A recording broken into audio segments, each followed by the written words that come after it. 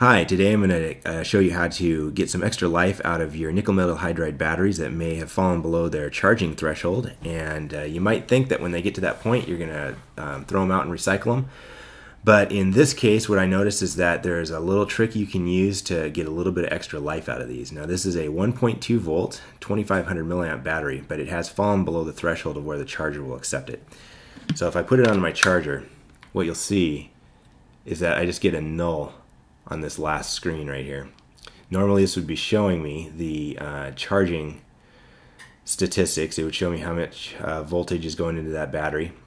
But here I have nothing, and that's because it's below a certain threshold where the charger will accept it.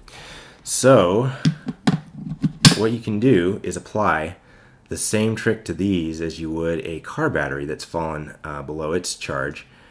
And when you jump start a car with a dead battery, you connect positive to positive and then ground to ground. And what you can do is do the same thing with these. Now I have a fully charged Duracell battery here, also 1.2 volts, 2500 milliamps, same rating. I actually don't recommend this particular brand of battery. I've had uh, pr pretty much every single one of these fail on me. What I do recommend is these. These are great. I haven't had any of these uh, show me that behavior or display that problem. So what I found was easiest is I take a pair of barbecue tongs, which are metal, and will conduct current all the way through from one side to the other. And then what I'll do is I'll take these two batteries and I'll actually connect the two negative sides together. I only do this because these are flat and it makes a really good solid surface.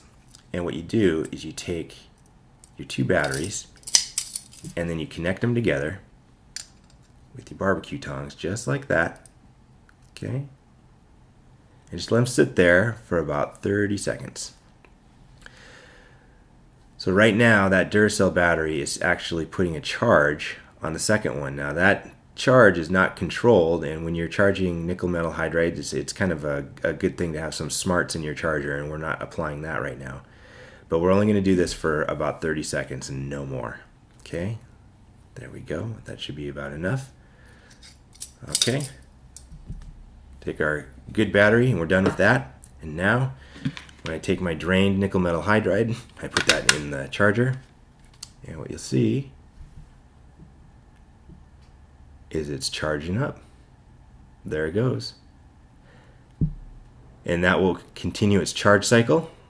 And when it's done, I'll be able to use that battery again. And what I'll need to do is just make sure that I don't uh, let that battery sit there and uh, drain below that threshold again, or I'll have to apply that trick. But it's so fast that uh, it's a great way to to get some extra life out of your batteries that are displaying that problem until you uh, invest in some decent ones. So that's it. Hope that helps you out. Thanks a lot.